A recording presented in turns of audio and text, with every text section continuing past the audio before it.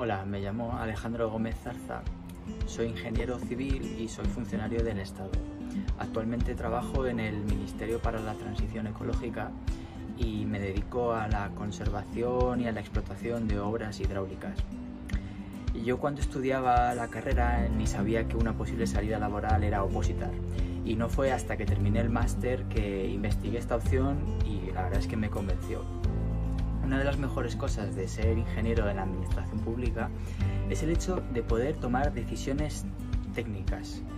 Normalmente los ingenieros de la empresa privada se limitan a ejecutar lo que les pida el cliente, mientras que en la administración lo normal es que seamos nosotros los clientes y por tanto podamos y debamos decidir qué hacer y cómo hacerlo.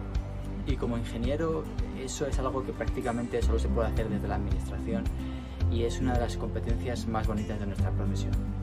Os animo a que penséis en el empleo público como una salida laboral.